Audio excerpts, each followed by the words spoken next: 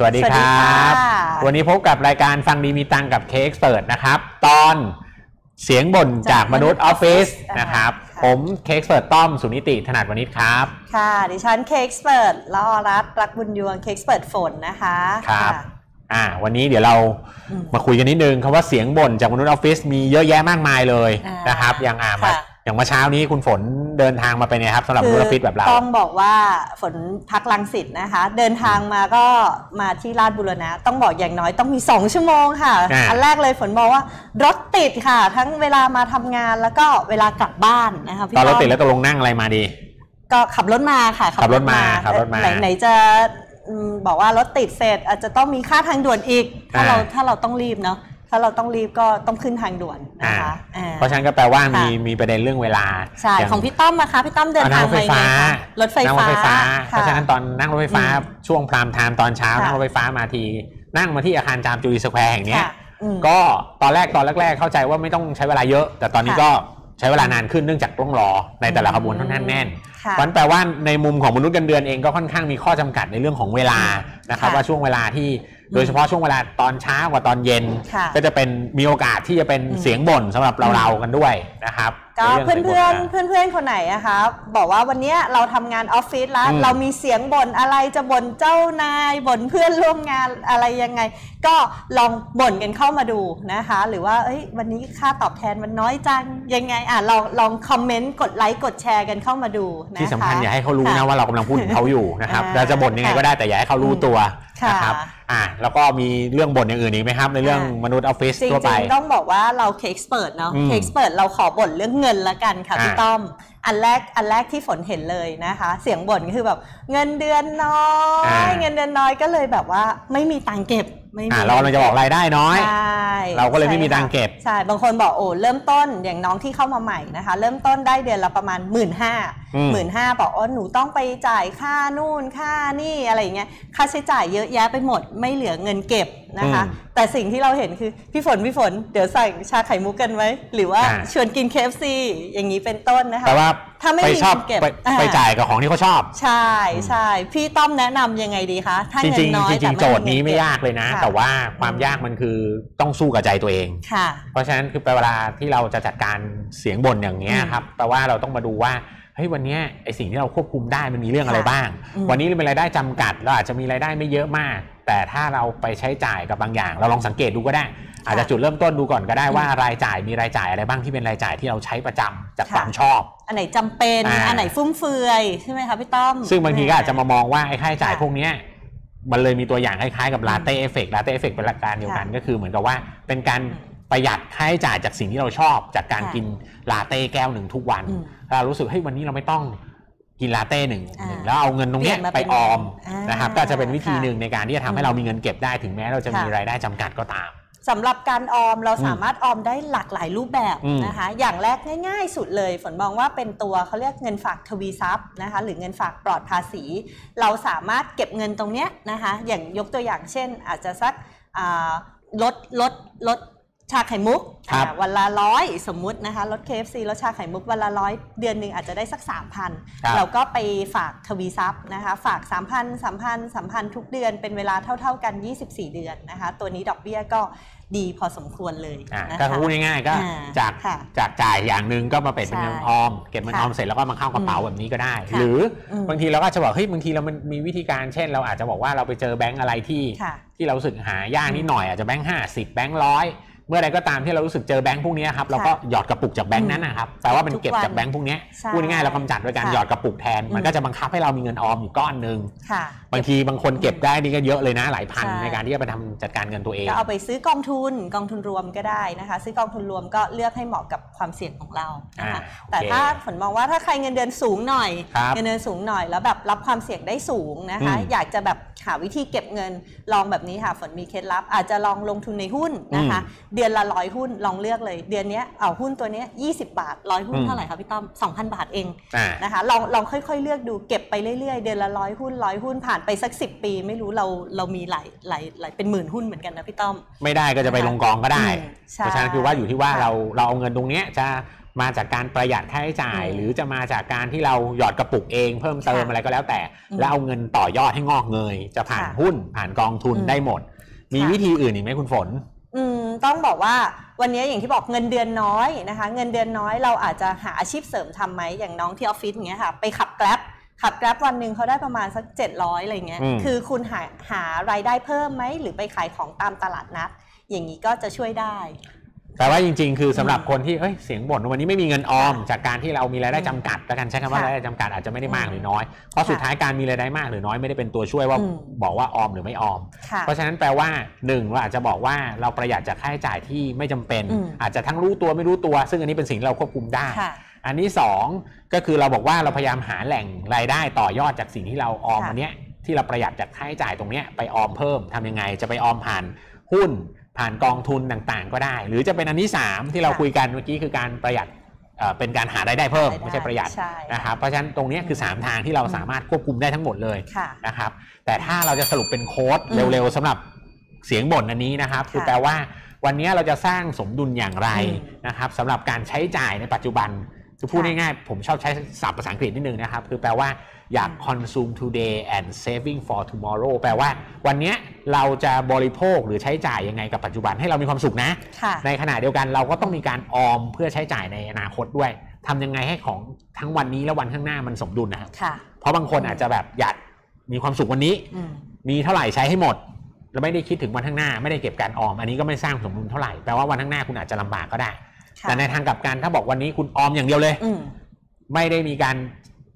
พูดง่ายๆใช้จ่ายปัจจุบันแบบไม่มีความสุข มันก็จะเป็นการออมแบบที่หาไม่มีความสุขบาลานซ์นะอ่าหาแล้วก็สร้างสมดุลนิดนึงใช่เนาะค่ะเพราะฉะนั้นถ้าจะทำให้แบบนี้ได้จริงๆเราควรมีต้องคำแนะต้องนำไงให้คุณต้องผลบอกบอกว่าอย่างนี้ วันนี้ action ของเราเลยนะอืมคะเงินเดือนรับมาปุ๊บ เก็บก่อนใช้อาออมก่อนใช้ออมเท่าไหร่ วันนี้สมมุติว่ารับมาสักหมื่นห้าออมสัก 10%ก่อน 10%ก็พันห้าอืมเราสมมุติเราทำได้สักระยะหนึ่งละนะคะ เราอาจจะเพิ่มปริมาณ K-Expert แนะนำประมาณสัก 20%นะคะก็อาจจะสักเดือนละ 3,000 3,000 3,000 อันนี้ถ้าทำได้เราออมเราเอาไปลงทุน เราก็จะมีเงินเก็บนะคะเราจะเริ่มต้นมีเงินเก็บ แต่ถ้าบางคนค่ะเพิ่งเริ่มต้นทำอาจจะไม่ได้ยึดที่ 20%เอาเป็นหน้ลัอยกๆก่อนะนอาจจะเริ่ม10%ขั้นต่ำจากก่อนก็สิบก่อนก็ได้ได้แล้วค่อยๆใช่ขยับเพิ่มขึ้นก็ได้ค่ะนะครับโอเคอะอ่าอันนี้มาดูพื่นๆเรื่องที่นะสองฮะอ่าแต่ว่าเราต้องบอกว่าถ้าเรามีเสียงบ่นอะไร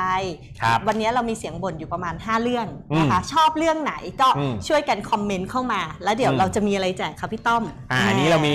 โปรโมทสินค้าคู่เลยคู่มือภาษีนะครับค่ะอ่าเอาเป็นว่าช่วงอืมปลายปีแล้วนะครับ เราไปวางแผนภาษีกันก็ถ้าใครค่ะอยากได้เล่มนี้ก็ลองโหวตอืมมานะครับว่าอันไหนใช้คำว่าโดนใจที่สุดโดนใจหรือ หรือเราอินกับชีวิตนั้นใช่นะครับค่ะเราจะได้ลองดูนะครับเดี๋ยวเดี๋ยวทางนี้ก็จะโหวตอ่าเสียงออกบ่ไปนแรกเมื่อกี้ผ่านไปแล้วอ่านนะคะ เงินเดือนน้อยอ่าเลยไม่มีเงินเหลือเก็บนะคะ เดี๋ยวเรามาดูเสียงบ่นที่สองค่ะพี่อ่าต้อมค่ะ เดี๋ยวก่อนจะเข้าเสียงเสียงอืมบทที่สองเราลองทวนค่ะความเข้าใจก่อนนะ ฟังดีมีตังค์เย้ฟังดีมีตังค์นะครับอ่าอันนี้เรามาทวนความเข้าใจก่อนนะค่ะว่าเสียงบทที่สองเรากำลังจะพูดถึงเรื่องเอ่อมีเงินหลักหมื่น แต่ก็อ่ามีมีหนี้บัตรเป็นสิบเลยเหมือนกันอืม ก็พูดง่ายๆกำลังถึงพูดถึงกรณีคนทั่วไปค่ะว่าเอ้ยวันนี้คนก็มีรายได้อยู่เมื่อกี้นี่อืมพูดถึงว่าเขายังไม่มีหนี้อืมแต่วันนี้ถ้ามีหนี้อย่างน้อยพวกอืมบัตรเครดิตหลาย ๆ ใบแบบเนี้ย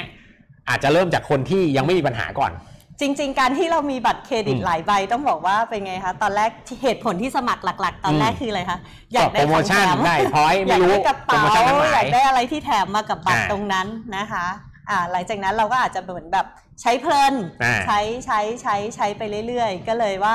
นี่มันก็พอกพูนจาก 1 ใบ นี่ก็ 2 ใบ 3 ใบ 4 ใบเป็น 10 ใบก็พันกันอยู่ตรงนี้นะคะเพราะฉะนั้นแปลว่าอ่าคนกลุ่มนี้ค่ะจะใช้อย่างไรไม่ให้มีปัญหาใช่ประเด็นที่เราต้องคุยกันทำความเข้าใจกันก็คือว่ามี 10 ใบไม่ได้บอกว่าผิดนะค่ะแต่แปลว่าวันนี้ถ้ามี 10 ใบแล้วใช้ไม่เป็นค่ะอันนี้เรื่องลำบากรูดเต็มจ่ายเต็มอันนี้ดีที่สุดอ่าดีที่สุดนะคะพี่ต้อมแต่ถ้าเกิดหนี้แล้วอะคะอ่าพี่ต้อมแปลว่าโดยมีตัวอย่างโดยไหมคะโดยทางปฏิบัติแปลว่าถ้าใครมี 10 ใบไม่ได้ผิดค่ะ แต่ก็ใช้ให้เป็นอันนี้อืมมุมแรก ถ้าคนยังไม่เป็นหนี้หรือไม่ได้เป็นหนี้มีปัญหา ก็ยังไม่ต้องอยากจะเป็นนะค่ะแต่ถ้าวันนี้บางคนเริ่มมีปัญหาและสัญญาณเตือนอย่างหนึ่งก็คือ คุณเริ่มจ่ายขั้นต่ำอะอ่การจ่ายขั้นต่ำบน10%เนอะบนบนค่ะบริบทของเงินเดือนที่เราได้มาจำกัดอะค่ะมันสิ่งสำคัญคือเรามีวิธีการในการอย่างอืมแรกเลยเราอาจจะใช้วิธีเอ่อหาวิธีที่มีแหล่งเงินออม หรืออมมีแหล่งเงินกู้ต่าง ๆ ที่ที่ดอกเบี้ยดอกเบี้ยถูกกว่านะถูกกว่าอ่าใช่ปกติค่ะบัตรเครดิต ดอกเบี้ยมาเท่าไหร่ครับ18%ค่ะสิบพี่แปดต้เปอร์อเซ็นต์ทำยังไงก็ได้ให้ดอกเบี้ยอ่าที่แหล่งใหม่เนี่ยมันถูกกว่าสิบแปดเปอร์เซ็นต์ใช่แต่ะความยากของมันคืออย่างแรกถ้าคิดแบบยากหน่อยคืออืมก็ต้องไปเอาเอ่อเขาเรียกครับเอาหลักขปอระงเนาะพูดง่ายๆเงินกู้ที่ไม่มีหลักประกันอะอืมพอเงินกู้ไม่มีหลักประกันแปลว่า อันเนี้ยเราก็จะ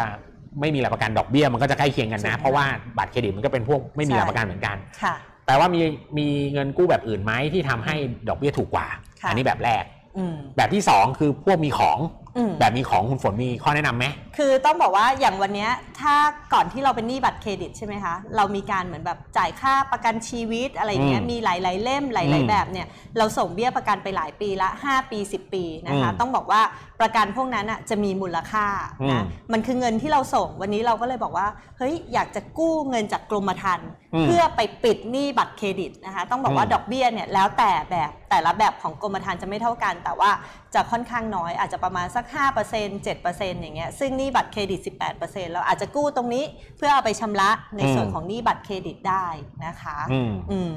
แล้วถ้าวันนี้พี่ต้อมบอกว่าพี่ต้อมมีรถมีบ้าน อันนี้จะช่วยได้อ่าไหมจริงๆคะเมื่อกี้นี้อ่เรากำลังจะพูดถึงค่ะพูดง่ายๆพวกเงินกู้ต่างๆ ที่ค่ะมีหลักประกัน ก็อืมโดยธรรมชาติคือเมื่อกี้เนี่ยบัตรเครดิตมันไม่มีหลักประกัน แต่วันเนี้ยค่ะเราอยากเป็นคนมีของอะอืมมีของแปลว่ามีรถมีบ้านใช่ค่ะแต่ข้อเงื่อนไขนิดเดียวครับ คือมบ้านกับรถนั้นต้องคลีนอ่าแปลว่า ปลอดภาระเราซื้อสดมาเรียบร้อยละอ่าหรือเราผ่อนหมดละ แล้วเราต้องการเงินก้อนมาอีกรอบหนึ่งไม่ได้เจตนาในนะคะการที่จะเอาอืมบ้านอะเขาเรียกอะไรครับกู้เงินเพื่อมาซื้อบ้านซื้อรถนะ แต่อืมวันนี้มีบ้านมีรถที่ปลอดภาระแล้วค่ะเราก็เอาพวกเนี้ยครับไปอืมหา เขาเรียกเงินกู้ต่างๆ มันก็จะมีใช่เงินกู้ที่มีแนวโน้มจะถูกกว่าเมื่อกี้เนี่ยค่ะก็สามารถที่จะเปลี่ยนใช่เงินกู้จากดอกเบี้ยสูงไปดอกเบี้ยต่ำได้ค่ะ ก็อย่างที่บอกนะคะเราไปหา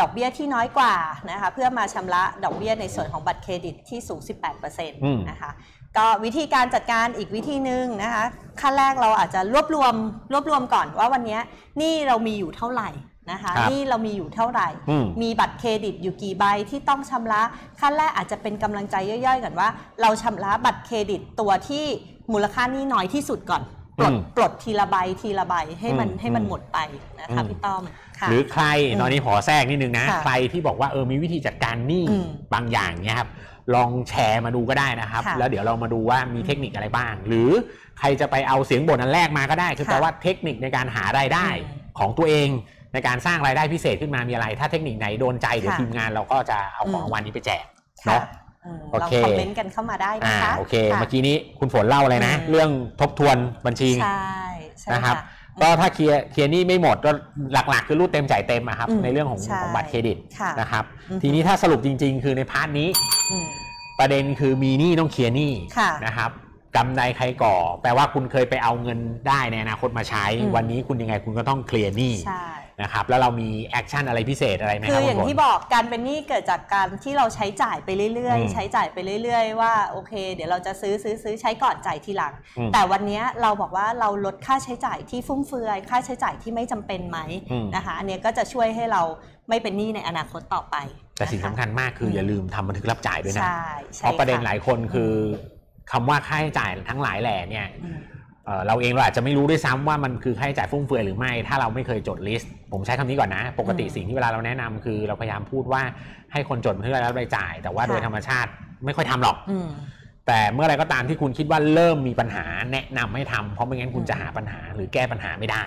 ค่ะนะครับโอเคอะก็ผ่านเสียงบ่นที่ 2 ไปแล้วครับนะคะ เสียงบ่นที่ 2 คืออมอ่า เงินเดือนเยอะ แต่ว่าหนี่บัตรเครดิตก็เยอะนะคะอ่าสำหรับเสียงบ่นที่ 3 อันนี้ไม่รู้โดนใจหลาย ๆ คนไหมอืมช่วงปลายปีนะคะ ก็แบบว่า โอ้ยงานเยอะมากครับหัวหน้าให้งานเยอะมาก แล้วก็อืมแบบว่าเป้าก็เยอะอืมทำเท่าไหร่ก็ไม่ถึงเป้าสักทีอะไรอย่างเงี้ยอือยากจะลาออกอ่านนะคะโอ้โห อันนี้จริง ๆ ก็ อันนี้ความรู้สึกมาเต็มอืม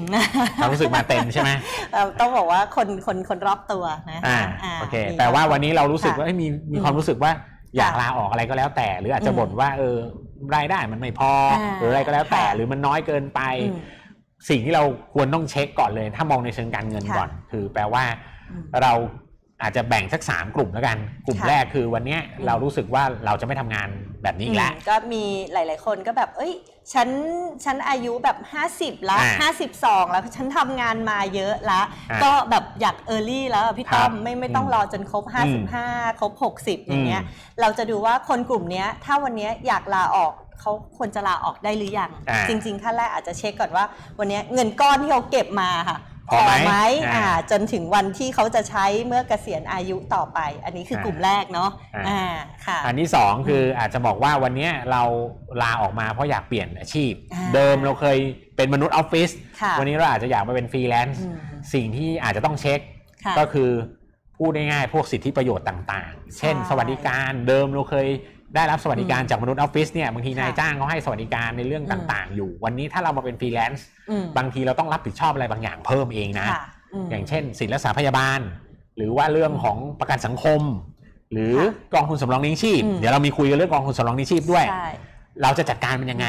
แล้วอย่างฟรีแลนซ์ต้องบอกว่าฟรีแลนซ์คือวันเนี้ยไม่ทำงาน คุณก็อืมไม่ได้เงินเนาะอืมแต่มนุษย์เงินเดือนคุณทำงานทุกเดือนอ่าคุณก็ยังเงินเดือนเข้าทุกเดือนอ่านนะคะก่อนที่คุณจะจากไปคุณต้องมีเงินก้อนสำรองตรงเนี้ยอ่าสักก้อนหนึ่งไหมอืมเพื่อใช้เวลาที่แบบเอ้ยงานไม่เข้าอะฟรีแลนซ์นะคะอืมอ่าเพราะฉะนั้นจุดค่ะสำคัญเดี๋ยวเราต้องไปคุยกันต่อตรงพาร์ทค่ะนี้ ทีนี้มาดูเคสที่ 3 ก็คือค่ะเอ่อ กรณีที่เปลี่ยนงานจากอืมออฟฟิศ A ไปออฟฟิศ B อืมจริง ๆ อันนี้ต้องคิดหนักนะพี่ต้อมอ่าเพราะว่าอะไรกรณีที่จะเปลี่ยนงานจริง ๆ กลับมาหาเหตุผลก่อนครับวันเนี้ยเราอยากจะเปลี่ยนงานเพราะอะไรหนึ่งอ๋อแบบเจ้านายใจร้ายหรือว่าแบบไม่ชอบเพื่อนร่วมงานอย่างเงี้ยอยากจะเปลี่ยนงานถามว่าเราไปที่ใหม่อืมจะเจอหนักกว่าเดิมไหมพี่ต้อมก็อาจจะหนักกว่า วันนี้บอกงานเยอะอืมที่ใหม่งานอาจจะเยอะกว่าเดิมอืมก็ได้อืมนะคะอาจจะค่อยๆมาหาเหตุผลก่อน นะใช่อืมเพราะฉะนั้นแปลว่าจริงๆ เราจะตัดสินใจค่ะเปลี่ยนหรือไม่เปลี่ยนอืมก็ต้องดูบริบทต่างค่ะๆแล้วก็ต้องดูเรื่องเหตุผลดูอืมเรื่องอย่าอย่าอย่าอย่าใช้อารมณ์อย่างเดียวค่ะแปลว่าเราต้องมาดูว่าที่ใหม่มาเทียบกับที่เก่าอืมอันไหนจะดูคุ้มค่ากว่ากันค่ะนะครับเราจะได้มาจัดการได้ว่าเอ้ยวันนี้สิ่งที่เราอืมตัดสินใจมันเป็นสิ่งที่ถูกต้องหรือเปล่าใช่นะครับค่ะ เพราะฉะนั้นเป็นแบบบทสรุปอืมในเสียงบ่นอันนี้ค่ะแปลว่าสิ่งหนึ่งที่สำคัญมากคือ เวลาเราจะตัดสินใจกรณีอืมเสียงบ่นนี้ค่ะขอให้ฟังในฝั่งที่เป็นเรื่องของเหตุผลให้เพิ่มมากขึ้นน่ะอืมเหตุผลในนี้คือแปลว่ามันจะดีกว่าไหม มันจะคุ้มไหม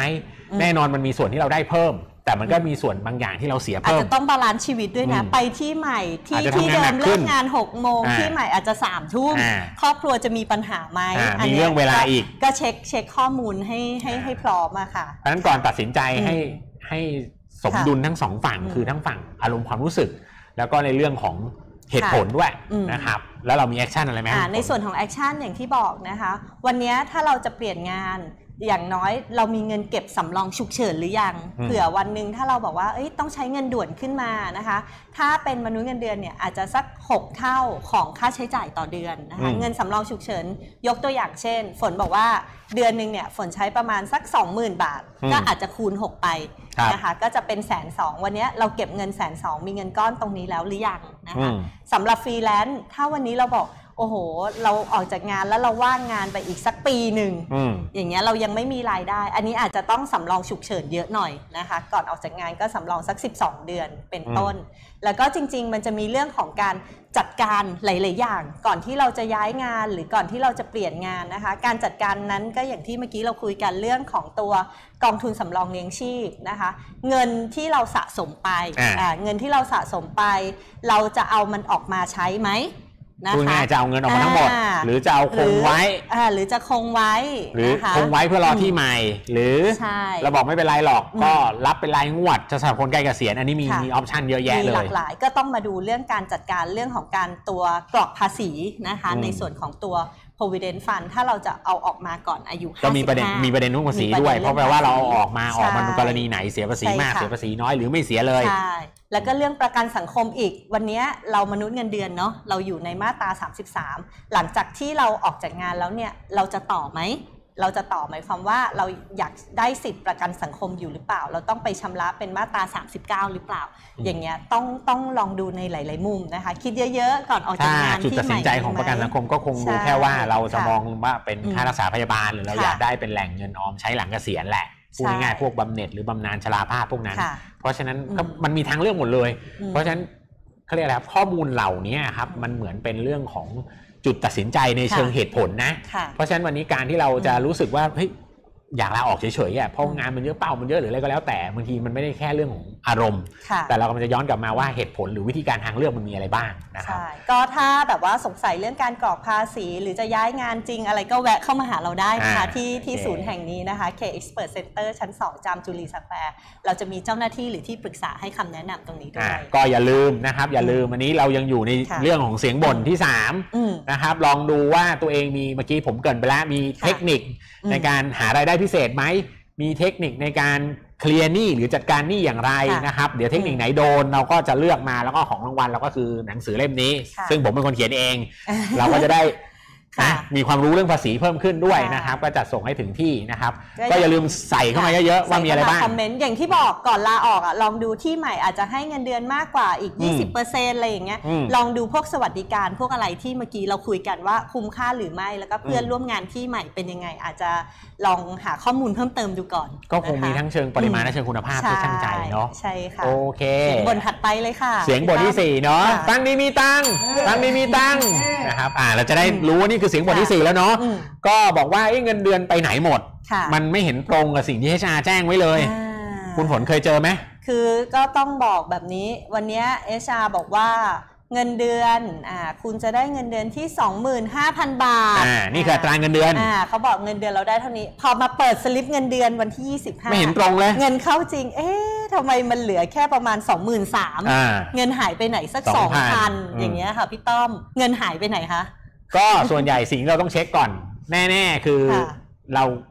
เนื่องจาก 25,000มันอาจจะยังไม่ถึงเกณฑ์เสียภาษีนะ อืมภาษีอาจจะไม่มีถูกไหมครับ ค่ะแต่ว่าอืมสิ่งหนึ่งที่น่าจะโดนแน่ค่ะๆก็น่าจะเป็นเรื่อง สว่ามาชิกประกันสังคมอ่าประกันสังคม 750 750 อันนี้โดนหักแน่ๆตรงนี้นะครับนะคะอันที่อืมสองก็อาจจะเป็นเรื่องของกองทุนสำรองหนี้ชีพใช่แต่อันนี้ต้องเช็คสิทธิ์ของแต่ละบริษัทเนาะค่ะถ้ามีก็เป็นไปได้ว่าอืมตรงเนี้ยไอ้สองพันเนี่ยหนึ่งเจ็ดร้อยห้าสิบหายไปแล้วค่ะอีกพันกว่าบาทอาจจะไปถูกหักจากอืมกองทุนสำรองหนี้ชีพค่ะทีนี้มีสิทธิ์สวัสดิการอะไรอย่างอื่นอืมเพิ่มไหมครับ หลังจากที่เราหักเพิ่มบ้างค่ะ ก็ต้องบอกอย่างนี้ วันเนี้ยอืมบางคนเงินเดือน50,000ครับเงินเดือน50,000อันนี้อาจจะโดนหักเยอะ อ่าอ่าหักเยอะหักเรื่องของภาษีไปอืมหักเรื่องของภาษีไปเพิ่มด้วยนะคะอ่าเรามีวิธีการช่วยเอาคืนมาไหมคะพี่ต้อม ประเด็นคืออย่างนี้อืมสิ่งที่เราต้องเข้าใจก่อนคือเวลาเราหักเข้าไปอะครับค่ะเราจงพึงทราบว่าเงินก้อนเนี้ยอืมไม่ได้มองในมุมเราหยอดกระปุกนะ สิ่งสำคัญของเออกองทุนอะผมกลับมาที่กองทุนสำรองหนี้ชีพก่อนนะค่ะ เราหยอดไปไม่รู้กี่เปอร์เซ็นต์ของเงินเดือนนายจ้างเขาก็จะช่วยกันหยอดด้วยแปลว่าส่วนหนึ่งคือส่วนที่เป็นของนายจ้างเนี่ยคุณมีแนวโน้มจะได้ตรงนี้มา ถือเป็นอืมสิทธิสวัสดิการแบบหนึ่งได้ค่ะฟรีเหมือนร้อยเปอร์เซ็นต์อืมเพราะฉะนั้นภาพหนึ่งที่เวลาเรามักจะถูกสอนมาแล้วกัน การที่เราเป็นสมาชิกกองทุนสำรองเลี้ยงชีพอืม ข้อดีของมันอย่างแรกคือคุณต้องเหมือนคุณได้ part ที่เป็นนายจ้างนายช่วยหยอดกระปุกด้วยอ่าเพราะฉะนั้นมันเหมือนการลงทุนคุณได้ส่วนเติมมาอยู่แล้ว โอกาสขาดทุนมีไม่เยอะมากอืมแต่สิ่งที่คุณต้องไปดูว่าส่วนของนายจ้างตรงเนี้ยครับมีแนวโน้มจะได้เมื่อคุณอายุงานเท่าไหร่อืมบางบางที่อาจจะกำหนด 50%เมื่ออายุงาน 3 ปี 2 ปี อันนี้แล้วแต่ค่ะหรือบางคนจะได้100%คือส่วนของนายจ้างเนี่ยเมื่อไหร่ อันนี้อืมประเด็นหนึ่ง สุดท้ายเงินก้อนเนี้ยมันสะสมสะสมไปแล้วเรื่อยเอาไปลงทุนก็จะมีผลประโยชน์งอกเงยแล้วแต่นโยบายที่เราเลือกไว้ๆอ่านะคะบงแล้วเราก็ที่ค่อยไปมองตอนาช็อตสุดท้ายว่าเนี้ยค่ะเงินก้อนเนี้ยมันคือแหล่งเงินอืมตอนสุดท้ายของเราตอนเกษียณค่ะถูกไหมครับ แต่ทีนี้ระหว่างทางเนี่ยถ้าเมื่อกี้ย้อนกลับไปเสียงบ่นเมื่อกี้นี้อืมเราบอกว่ากองทุนสำรองเลี้ยงชีพเกิดเราบอกว่ากรณีแรก เราบอกอืมเราใกล้เกษียณและ early เอาออกเลยอืมก็แปลว่าตัดสินใจเนี่ยเงินก้อนนี้พอไหมอืมถูกไหมครับ แล้วจุดตัดสินใจพอเราเอาเงินออกก่อนอายุ 55 คุณอาจจะต้องมีภาระภาษีแต่ใช้คำว่าเสียน้อยหน่อยค่ะนะครับอันนี้มุมหนึ่งอืมแต่ถ้าบอกเป็นฟรีแลนซ์อะค่ะออกไปเป็นฟรีแลนซ์เลยมีอืมวิธีจัดการ provident fund ยังไงไหมครับคุณฝนคืออย่างที่บอกนะวันนี้อืมกฎหมายให้สิทธิ์แล้วนะคะ เราสามารถคงเงินไว้เหมือนเดิมก็ได้อืมแต่ถ้าเราไม่อยากคงเงินเราสามารถ ย้ายนะคะมาเป็น RMF for อ่า Provident Fund อ่า ตรงนี้เราสามารถเลือกนโยบายใน RMF for Provident Fund แล้วก็ถือให้ถึงอายุ อืม 55 นะคะ ตรงนี้ก็จะนิดช่วยนึงได้คำว่าคงเงินอืมแปลว่าถือไว้เฉยๆ ผมไม่ได้หยอดกระปุกเพิ่ม อืม ข้อดีของมันคือเป็นการนับอายุสมาชิกต่อเนื่องค่ะ แปลว่าถ้ากรณีฟรีแลนซ์แล้วคุณอืมบอกว่าคุณคงเงินไปเรื่อยถ้าเขายังมีให้อืมสิทธิ์คงเงินนะ ก็แปลว่าเงินก้อนนี้ไปโผล่อีกทีหลังอืม55 เงินก้อนนี้ก็ไม่เสียภาษีแล้วใช่นะครับค่ะแต่ถ้าบอกว่าไม่ใช่จริงๆโจทย์นี้ไม่น่าใช่เพราะฟรีแลนซ์เราต้องการเอาเงินออกมาเลยอืมก็แปลว่าต้องไปหาดูว่าเราอยากจะเอาออกมาเลยเพื่อเสียภาษี หรือบอกไม่จำเป็น เราจะไปไว้ในมุมของอืม RMF แบบที่คุณฝนว่าก็ได้ค่ะก็แปลว่าข้อดีของการไปย้ายจาก Provident Fund ไป RMF อืมคือ ไม่ต้องเสียค่าธรรมเนียมคงเงินค่ะปีละ500 600อันนี้แล้วแต่ แล้วก็เมื่อกี้เราพูดถึงว่าเราโดนหัก 750 บาทอ่านนะคะเราโดนหัก 750 บาทไปในส่วนของตัวประกันสังคมอืมนะคะจริงๆ ตรงเนี้ยพอเราบอกว่าเราสะสมไปเรื่อยอืมๆนะคะเราสะสมไปเรื่อยๆเนี่ยสิ่งที่เราจะได้คือในส่วนของตัวบำเหน็จและก็บำนาญอืมแต่ถามว่าใครจะได้บำเหน็จใครจะได้บำนาญอันนี้อยู่ที่อายุงานของเราละนะคะ วันเนี้ย ตั้งแต่เราส่งประกันสังคมมาเนี่ยเราทำงานเกิน 15 ปีหรือ 180 เดือนหรือเปล่า ถ้าเราบอกว่าโอเคเราทำงานถึงอายุ 15 ปีละนะคะอืมเราทำ15 ปี เพราะฉะนั้นหลังจากอายุ 55 เนี่ยทางประกันสังคมเขาจะให้เงินเราออกมาเป็นบำนาญนะคะอย่างน้อยที่สุดต้องได้สัก 3,000เนี่ยแหนัละบจากเมื่อไหร่ครับคุณฝน นัปบระกันสังคม นับจาก 1 มกรา42 2542นะคะเพราะกฎหมายจะออกประมาณปลายปี 2541 แปลว่าพี่ๆหลายคนที่ทำงานก่อนอืมปีใช่42 เขายังไม่นับนะยังไม่นับเขาเริ่มนับตั้งแต่มกราใช่42เนาะใช่ค่ะ ก็ต้องมาดูเป็นแล้วก็ถ้าบางคนบอกอ๋อส่งไม่ถึงหรอก 15 ปีส่งแค่อืม10 ปีอะค่ะ สิ่งที่เราจะได้คือเราจะได้เงินบำเหน็จเงินก้อนอืมนะคะตอนอายุ 55 พร้อมผลตอบแทนหรือว่าจากการลงทุนที่เราอืมสะสมเงินเข้าไปนะคะเพ ราะฉะนั้นก็แปลว่าอืมเอ่อกองทุนประกันสังคมเองมันก็ค่ะมีมีส่วนที่เราต้องจ่ายใช่แต่เราก็ต้องพึงระวังว่าส่วนที่เราพึงจะได้มันมีเรื่องของอะไรบ้างอืมจริง ๆ มันก็ค่อนข้างเป็นบทสรุปพอสมควรนะครับ ว่าค่ะอย่าง provident fund อย่างเงี้ยอืมเราหยอดเข้าไปจริงๆเมื่อกี้ยังไม่มีเคสหนึ่งที่เราพูดถึงคือกรณีที่ ย้ายที่ทำงานอืมย้ายที่ทำงานคือยังคงเป็นมนุษย์ออฟฟิศเหมือนเดิมอะค่ะย้ายที่ทำงาน การคงเงินก็จะช่วยเราในมุมของเงินก้อนเนี้ยไม่ต้องเสียภาษีใช่อันนี้สองเมื่อไปทำงานที่ใหม่เขามี provident fund ที่ใหม่ คุณสามารถอืมเอาเงินก้อนเก่ายกย้ายไปอยู่กับไปได้ที่ใหม่ แล้วก็หยอดสะสมจากที่ใหม่ต่อเนื่องค่ะได้เลย เพราะฉะนั้นนับอืมอายุสมาชิกได้เหมือนกัน เพราะฉะนั้นเรื่องของเออการจัดการค่ะเงินตรงเนี้ยอืมครับสำหรับคนที่เป็น มนุษย์เงินเดือนเราถูกหักอืมทั้งหลายแหล่เนี่ยใช่เราก็ต้องจัดการเงินก้อนนี้ให้อยู่กับเราค่ะไปจนถึงเกษียณอย่างที่บอกคนที่เงินเดือนคนที่เงินเดือนไม่มากเท่าไหร่เมื่อกี้สองหมื่นห้าที่เราได้มานะคะเราโดนหักประกันสังคม หักกองทุนสำรองเลี้ยงชีพ แต่คนที่เงินเดือนสูงสูงๆและอืมสิ่งที่เราโดนหักเพิ่มคือตัวอาจจะเป็นภาษี ถ้าเราอยากจะช่วยในการได้ภาษีตรงนั้นคืนมาค่ะพี่ต้อมมีวิธีแนะนำเพิ่มเติมยังไงไหมคะก็เราก็อาจจะไปอยู่ในค่ะฝั่งที่เรียกว่าเอ่อ กองทุนประหยัดภาษีต่างค่ะๆซึ่งแน่นอนเดี๋ยวก็จะโดนมีคำถามนั่นนึงอืมผมไม่รู้เสียงบ่นหรือเปล่านะ ปีนี้เป็นปีที่กองทุนลดหย่อนภาษีประเภทหนึ่งกำลังจะพูดง่ายๆเป็นปีสุดท้ายอ่าในการใช้สิทธิ์ค่ะก็คือกองทุน LTF ใช่อันนี้อันที่หนึ่งอันที่สองคือกองทุน RMF ใช่ค่ะนะครับหรือจะเป็นตัวที่สามในเชิงการเก็บเงินก็คืออมประกันสะสมทรัพย์ค่ะนะครับหรือว่าประกันแบบบำนาญอันนี้อืมได้หมด 4 อย่างก็จะ ทีนี้เป็นแต่ละอย่างมันก็มีระดับความเสี่ยงแตกต่างกันไปใช่อันนี้เราคงไม่ได้ลง detail นะครับใช่แต่ว่าค่ะพอให้นึกภาพว่าตรงเนี้ยอืมถ้าเราอยากจะประหยัดภาษีเราก็สามารถเอาเงินอืมก้อนเนี้ยไปจัดการตรงนี้ได้ค่ะจริง ๆ ในนี้ก็มีมีเพิ่เติมีมีมีะในคะนี้มีเหมือนกันาลองนะครับคอมเมนต์มาค่ะว่าเสียงบ่นอ่าไหนโดนตัวนี้ก็จะ ได้ส่งกลับไปให้อ่ามีมีมีจริงๆมีสองทางเลือกนะค่ะแชร์เทคนิคจัดการเงินของตัวเองมาค่ะนะครับ ตอนแรกอืมเสียงบ่นแรกเรามีพูดถึงเรื่องการหารายได้พิเศษค่ะหารายได้เสริมอืมมีใครแชร์เทคนิคเรื่องรายได้เสริมที่เราโดนใจ อันนี้ค่ะก็อาจจะแจกรางวัลนี้ไป หรือเราบอกว่าเรามีหนี้อยู่ในเสียงบ่นอ่าที่สองเราบอกเฮ้ยเสียงบ่นนี้เรารู้สึกโดนใจเรามากเลย แล้วเราอยากขยายความว่าช่วยแชร์มาหน่อยครับว่าการจัดการหนี้ของเราวันนี้ที่เรายังเป็นหนี้ปกติอยู่ ทุกคนก็คงมีหนี้บ้านหนี้รถเราจัดการค่ะยังไง หรือเราบอกเออไม่มีไอเดียเลยอืมก็ลองเลือกมาดูครับว่าเสียงบ่นเมื่อกี้นี้เสียงบ่นแรกคือเรื่องของเออมีเป็นมนุษย์เงินเดือนและมนุษย์ออฟฟิศธรรมดาเงินเดือนอืมมันไม่ได้เยอะมาก เราอืมไม่รู้จะออมยังไงดี อันที่ค่ะสองอืมคือมีเงินเดือนมาก้อนหนึ่งแล้วเราก็มีหนี้ด้วยใช่เราจัดการยังไงดีแล้วก็ค่ะรู้สึกไม่ค่อยดีนะครับอืมอันที่สามที่เรากำลังจะคุยก็คืออะไรครับอยากลาออกเอออยากลาออกอันนี้ใช้ฟีลลิ่งหน่อยคิดดีหรือยังนะครับ แล้วก็มีอันที่สี่ อันที่สี่แล้วเราพูดว่าเฮ้ยแล้วเงินเดือนมาเงินเดือนหายไปไหนทำไมมันได้ไม่เต็มตามอัตราเงินเดือนค่ะชอบอันไหนเนอะลองคอมเมนต์มากดไลค์อ่ากดแชร์มาได้นะคะ เสียงบ่นสุดท้ายค่ะโหนี่ก็สิ้นปีแล้วนะเสียงบทสุดท้ายอ่าฟังนี้มีตังค์ฟังนี้มีตังค์นะครับอ่าค่ะเสียงบทสุดท้าย หยุดยาวสิ้นอืมปีแล้วปีใหม่ ไปเที่ยวไหนกันดีอ่านนะคะ หลาย ๆ คนก็บอกว่าโอ้โห เดี๋ยวช่วงนี้จะมีวันหยุดต่อเนื่องนะคะอืมวันที่ 5 วันที่ 10 ถึงแม้ปลายปีหยุดสิ้นปีอย่างเงี้ย นะคะ การไปเที่ยวก็ลองคิดดูนะคะ ว่าวันเนี้ยเรามีเงินหรือยังอืมเงินที่วางแผนที่จะไปเที่ยว หรือว่าเราบอกว่าเดี๋ยวรูดบัตรเครดิตไปก่อน ใช้ก่อนจ่ายทีหลังอืมปีหน้าก็ทำงานเพื่อใช้หนี้ใช้สินนะคะอันไหนหรือดีรอกว่ากันหรือคะไม่พี่รู้ต้อรอหรือไม่รู้รอโบนัสปีหน้าก็ไม่รู้นะอันไหนดีกว่ากันคะอืมจริงๆต้องบอกว่าดีที่สุดคืออมเวลาเราจะทำอะไรบางอย่าง เราขอค่ะให้เตรียมเรื่องค่าใช้จ่ายนั้นให้พร้อมใช่นะครับค่ะ หรือบางคนบอกว่าตอนนี้เป็นไงครับอืมชิมช็อปใช้เฟสสามอืมเขาบอกว่าเราต้องจ่ายตังค์ไปก่อนเราถึงจะได้เงินคืนมาค่ะตอนนี้ทุกคนเริ่มนั่งคิดนิดนึงแล้วว่าฉันต้องจ่ายออกไหม แต่พอพันหนึ่งนี่ไม่คิดเลยเลยนะ เพราะมันไม่ใช่เงินเรา หรือบางคนอาจจะรู้สึกเป็นเงินภาษีของเรา อันนี้เดี๋ยวว่ากันแต่ว่าค่ะมันจะเห็นภาพในเชิงอืมการใช้จ่ายง่ายหรือยาก อันนี้สำคัญมากเลยนะครับ เพราะว่า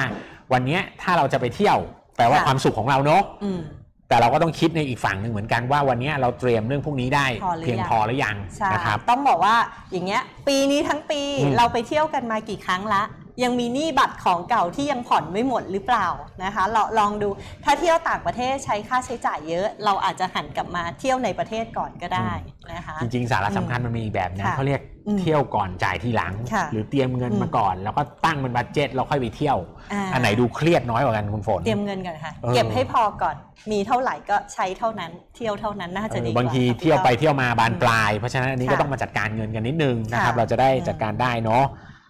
ค่ะแล้วก็ มีการเตรียมเงินเนาะค่ะ เราคิดว่าปกติคุณฝนไปเที่ยวปีละกี่ครั้ง ก็สักครั้งหนึ่งก็ก็เยอะแล้วค่ะพี่ต้อมเออแต่ตอนนี้คงไม่แล้วของผมอะ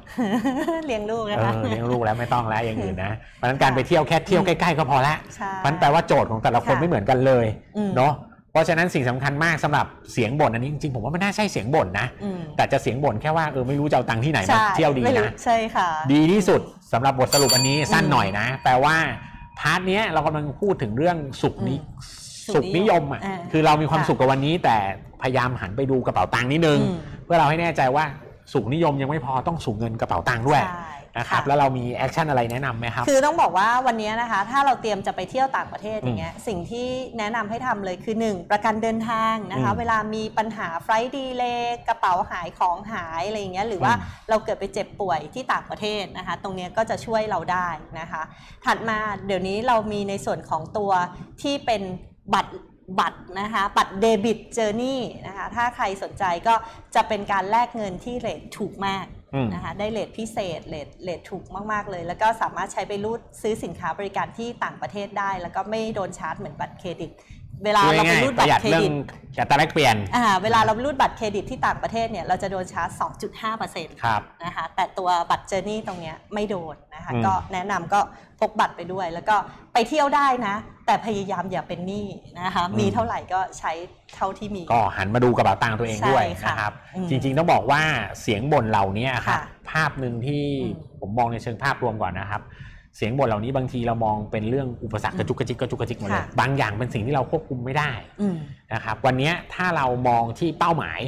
แปลว่าวันนี้ถ้าเราอยากเอาง่ายๆก่อนเลยนะ ถ้าเราอยากมีเงินออม เราลองนึกก่อนไหมว่าการออมนั้นออมเพื่ออะไร เป้าหมายค่ะชัดเจนหรือเปล่าอืมแล้วเราพยายามทำให้เป้าหมายนั้นมันอยู่อืมมันอยู่ในสายตาเราตลอดเวลาค่ะไม่ว่าจะอยู่หน้าโต๊ะเครื่องแป้งอืมหรืออะไรก็แล้วแต่แปลว่าวันเนี้ยในเชิงเป้าหมายตรงนี้เราเห็นมันอยู่ทุกวัน เราเตือนอืมมันอยู่ทุกวันค่ะ เพราะฉะนั้นสิ่งเหล่านี้ที่เราบ่นๆมาทั้งหมดอืมมันอาจจะกลายเป็นแค่เรื่องเล็กน้อยมากเลยใช่เหมือนค่ะวันนี้ผมบอกว่าผมอยากเดินทางจากกรุงเทพไปเชียงใหม่ วันนี้เราสนใจที่การไปเชียงใหม่หรือเราสนใจว่าเฮ้ยระหว่างทางมันอืมทางมันจะสวยไหมหรือเราคิดว่ามันจะขึ้นเขาลงห้วยมันจะลำบากไหมอืมเป็นคุณฝนคุณฝนมองที่ปลายทางหรือคุณฝนมองระหว่างทาง เราดูเป้าหมายค่ะเอออืมเราก็อยากรู้ว่าเราอยากมีความสุขว่าเฮ้ยค่ะการที่เราไปเที่ยวเชียงใหม่วันนี้อืม เราอยากไปเที่ยวอะไรบ้าง เราคงไม่ได้อยากรู้ว่าระหว่างอจจทางมันสวยไม่สวยอุปรรคบ้างอะไรอ่าบ้างนะคะ แต่ถ้าเราเชื่อวันนี้อืมถ้าเราเชื่อว่าเราทำได้อืม นะคะ เราจะรวยได้แน่นอน เก็บเออ เงินได้อะไรได้ มันแปลว่าบางทีความเชื่อมันกลายเป็นความศรัทธา ค่ะความศรัทธามันทำให้เราสามารถบรรลุไปถึงเป้าหมายได้ใช่นะครับเหมือนค่ะธีมวันนี้เลยอืมเพราะฉะนั้นวันนี้ในมุมธีมที่เราเป็นแบ็คพิงทั้งหลายนะครับเรากำลังจะบอกว่า empower your beliefs ค่ะเรากำลังเชื่อแค่เชื่อคุณก็เป็นได้ ภาพเนี้ยมันคือสิ่งสำคัญที่เรากำลังจะบอกว่าฝันหรือเป้าหมายอะไรก็แล้ว แต่ไม่ว่าถ้ามันชัดมากพอนะครับ สิ่งต่างๆ มันเป็นแค่ เขาเรียกระหว่างทางอะมันไม่ใช่ใช่อุปสรรคที่คุณจะค่ะรู้สึกว่ามันเป็นไปไม่ได้อืมเพราะฉะนั้นวันนี้การที่เราจะเก็บเงินหรืออะไรก็แล้ว แต่ไม่ว่าคุณจะมีรายได้เยอะรายได้น้อย ถ้าเรามั่นใจว่าเราอยากออมเงินนะค่ะผมว่าเรื่องต่างๆ นี่เป็นเรื่องปลีกย่อยมาก การไปเที่ยวนี่อาจจะไม่รู้สึกไม่ต้องไปเลยนะอืมเราอาจจะไม่ได้รู้สึกว่าต้องมีความสุขนิยมแบบนี้เลยก็ได้ เรารู้สึกว่าเออนี่คือเป้าหมายของเราแต่ ทั้งหลายทั้งมวลเราต้องมีความสุขระหว่างเราทำงานด้วยนะ ใช่ คือเนอะต้องบอกว่าจริง ๆ เป็นมนุษย์เงินเดือนก็รวยได้นะคะ หลาย ๆ คนที่แวะเวียนมาที่ที่เนี่ยค่ะอืมเงินก้อนหลังเกษียณเนี่ยหลัก 10 ล้านขึ้นไปก็ก็เยอะเหมือนกันนะคะ ถ้าคุณเก็บเงินตั้งแต่วันนี้แล้วก็เชื่อว่าเราจะรวยได้นะคะโอเคค่ะนะครับอืมก็อย่าลืมนะครับในเรื่องของคอมเมนต์เรายังร่วมสนุกกันได้อยู่นะครับแปลว่าค่ะเสียงบ่นลองทวนนิดนึงเมื่อกี้มี 5 เรื่องอืมเสียงบ่นลองดูซิว่าเสียงบ่นไหนโดนใจเราบ้างใช่นะครับค่ะ ก็คือมีเสียงแรกในเรื่องของเงินน้อยเงินน้อยจะเอาเก็บที่ไหนนะค่ะอย่างที่สองคือมีเงินเดือนหลักหมื่น แต่ก็มีค่ะบัตรบัตรเยอะเหมือนกันมีหนี้แปลว่ามีบัตรหเยอะนี้แล้วเรารู้สึกใช่ค่ะเราจัดการหนี้ยังไงดีค่ะอันที่สามคือลาออกในเรื่องอยากลาออกอันนี้ฟีลิ่งล้วนๆเลยเนาะอืมไม่ไหวว่างานเยอะเป้าเยอะเลยอยากลาออกค่ะทำยังไงดีอืมหรืออันที่สี่ที่เราบอกว่าวันเนี้ย มีเงินเดือนมาอัตราเงินเดือนร้อยบาทสองหมื่นสามหมื่นแต่ได้อยู่ดีไม่ครบทำไมได้ไม่ครบอ่าได้ไม่ครบแล้วมันมีอะไรที่เราเสียบ้างค่ะได้บ้างนะครับอืมหรือสุดท้ายเราบอกเออไม่เป็นไรเอาเงินผมที่ไหนไปเที่ยวไม่อยากคิดอะไรมากขอเที่ยวก่อนแล้วค่ะเราอยากสุนนิยมช่วงปลายปีอืมเนอะเราก็จะได้วางแผนแบบที่ดีกันค่ะนะครับลองดูว่าเอ่อเสียงบ่นไหนที่โดนใจเรา หรือถ้าใครบอกเออไม่ได้ วันนี้ขอแชร์เทคนิคแล้วกัน เทคนิควันนี้คือเรื่องอะไรครับ เทคนิคการหารายได้พิเศษอืมเทคนิคการบริหารจัดการหนี้ค่ะมีอะไรบ้างลองแชร์มาถ้าโดนใจทางเราเราก็ค่ะจะส่งในเรื่องคู่มือภาษีอืมซึ่งแน่นอนปีนี้ก็มีหลาย ๆ อย่างที่มันถูกปรับเปลี่ยนไปเยอะใช่นะครับค่ะก็หนังสือเล่มนี้ก็ค่อนข้างอัปเดตอืมก็จะได้เป็นรางวัลไปค่ะนะครับ ก็ถ้าใครมีคำถามอืมหรือในเรื่องของ อยากสอบถามเราใช่ค่ะเราสามารถติดต่อที่ไหนคอมเมนต์ได้บ้างคุณฝนคอมเมนต์มาได้เลยค่ะอ่าแล้วก็ตอนนี้เราอยู่ที่ K Expert Center นะคะอืมอาคารจามจุรีสแควร์ชั้น 2นะคะก็สถานที่อย่างนี้มีก็มีทั้งอะไรมีทั้งแต่ปรึกษาอ่าสัมมนาเวิร์กอ่าช็อสัมปมนาเวิร์กช็อปใครใช่ไม่รู้ค่ะไม่ไม่อืมไม่รู้ว่าจะเริ่มต้นยังไงค่ะเราอยากจะรู้เรื่องรายละเอียดของการเงินอืมส่วนบุคคล จริง ๆ เราเริ่มขยายไปที่การเงินธุรกิจแล้วนะสินเชื่ออ่าธุรโอกิจเคอะไรถ้าใครที่อยากจะมาค่ะปรึกษาอืมรวมไปถึงการปรึกษาเรื่องของธุรกิจด้วยค่ะเราก็จะสำหรับธุรกิจนี่อาจจะ จำกัดเฉพาะทุกวันพฤหัสค่ะนะครับค่ะแต่ในเรื่องของเอ่อการลงทุนค่ะภาษีเกษียณอืมต่างๆ ที่เป็นเรื่องของส่วนบุคคลเนี่ยเราเปิดตลอดตั้งแต่ทุกวัวันนจันทร์ถึงวันอาทิตย์ใช่ค่ะนะครับ ก็ถ้าใครมีคำถาม อยากจะถามใต้คอมเมนต์มาเดี๋ยวเราจะมีทีมงานตอบกลับไป หรือถ้าไม่มีคำถามหรือนึกไม่ออกไปนึกค่ะออกวันหลัง และอืมคิดว่าสะดวกมาที่อาคารจามจุรีก็มาพบมาเจอกับเราได้ที่นี่อาค่ะคารจามจุรีสแควร์ K-Expert Center นะครับค่ะ ก็อย่าลืมติดตามเรานะคะ ทุกพุธเว้นพุธอ่านนะคะ พุธหน้านะคะวันที่ 11 ธันวาคมนะคะ เดี๋ยวเราเจอทปกัถันดไปเทปนะครับถัดไปก็วันนี้ค่ะเราสองคนขอลาไปค่ะก่อนนะครับ สวัสดีครับ สวัสดีค่ะ